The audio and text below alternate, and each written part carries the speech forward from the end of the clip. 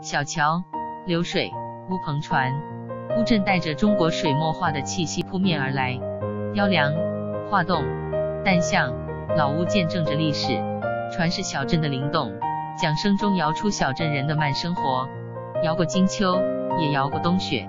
雪后的乌镇充满生活的烟火气。到了春天的烟雨季节，雨滴山花湿未前，野云流引入栏杆。来 Travel 洞了解乌镇。